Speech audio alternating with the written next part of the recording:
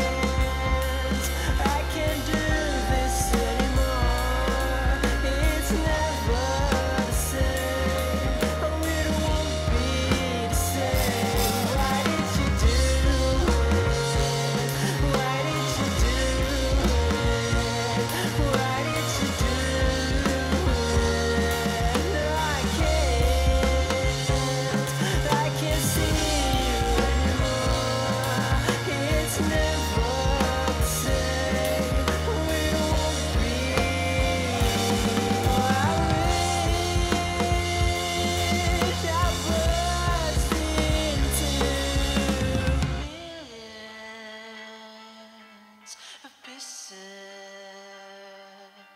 so no one can.